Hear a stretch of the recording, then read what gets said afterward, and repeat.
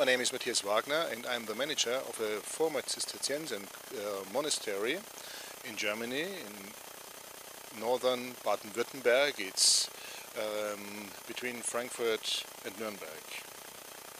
There I'm responsible for uh, the heritage, for the visitors, for, for the culture program and um, we have around 30 employees and they all will help to preserve this monastery, this former Cistercian monastery, uh, for the future.